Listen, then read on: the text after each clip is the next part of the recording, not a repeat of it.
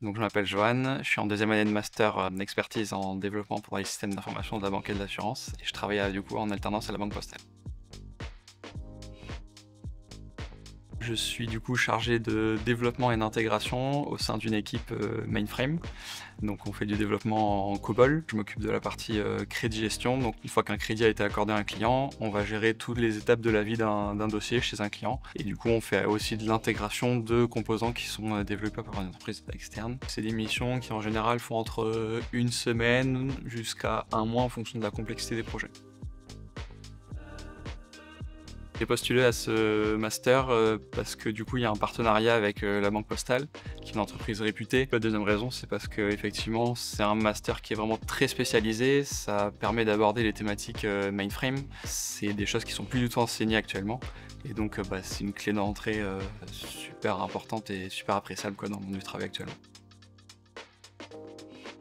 Comme on arrive à la banque postale, l'avantage c'est qu'on a trois mois de formation qui nous permettent de vraiment nous intégrer d'une part aux équipes de la banque postale, mais surtout de, monter en compétence sur la partie mainframe, parce que c'est pas enseigné euh, dans d'autres cursus. Ça nous permet du coup d'être intégré directement dans les équipes en ayant bah, tout le background nécessaire. Du coup on, se voit vite confier des missions.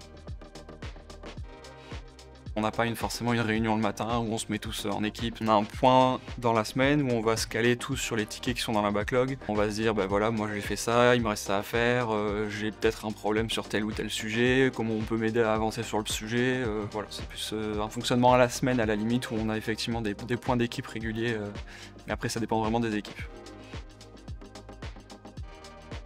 Deux managers, un manager fonctionnel un manager hiérarchique. Donc en fait mon manager fonctionnel c'est vraiment au sein de mon équipe, en fait c'est en quelque sorte un chef d'équipe. Et j'ai un manager hiérarchique qui lui va gérer en fait tout ce qui est euh, évolution de la carrière, des points réguliers pour savoir comment ça se passe au sein de mon équipe, comment ça se passe au sein vraiment de l'entreprise. Et de façon globale c'est extrêmement humain et on peut vraiment échanger facilement, ils sont à l'écoute donc c'est très agréable pour travailler.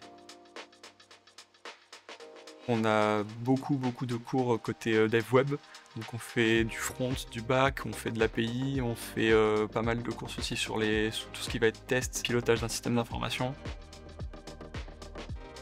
Tout d'abord, c'est une entreprise qui est très humaine, au niveau management, au niveau euh, relation avec les équipes. Il y a beaucoup de missions qui sont très différentes. Il y a également euh, la possibilité d'évoluer euh, assez facilement. Il y a du mainframe certes, mais il y a aussi des nouvelles technologies pour, pour ceux qui, qui, veulent aller sur ces pistes-là. Je pense que c'est vraiment une entreprise où on peut s'épanouir déjà pour l'alternance, mais aussi après pour un projet de carrière à plus long terme. Et on a aussi la possibilité, du moment qu'on est dans l'entreprise, en fait, d'avoir accès à plein de petites formations. Je recommande LBP à 100%. Le côté veille technologie, ça peut être repoussant pour un étudiant à premier abord, se dit tout de suite c'est quelque chose qui va, enfin, est sur le déclin ou comme ça, alors qu'en fait le mainframe a un tel besoin sur le marché qu'aujourd'hui mettre ça sur son CV et pouvoir développer sur ces technologies-là, c'est un atout euh, indéniable. Quoi.